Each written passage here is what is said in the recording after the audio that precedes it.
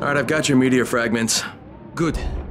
I'll load the shards into the accelerator chamber, and we'll be ready to take the fight to the reptilians. Whoa, wait, whoa. Who, who are we taking the fight to? Okay, technically they're gadoids from Orion, but reptilians is a recognized euphemism, even if it's a bit uh, redneck. Uh-huh. And these gadoids did... did what now? Bah, please. They came to Earth eons ago, and formed the Order of the Illuminati. Now they want to dominate us and spread around the entire fourth level. They have been turning people into slaves. But now you're going to stop them, because you have this. I do?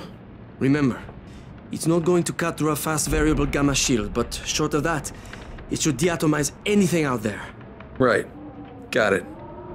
Anything else? I'd estimate you can count on 500 charges before you need to replace the meteor shards.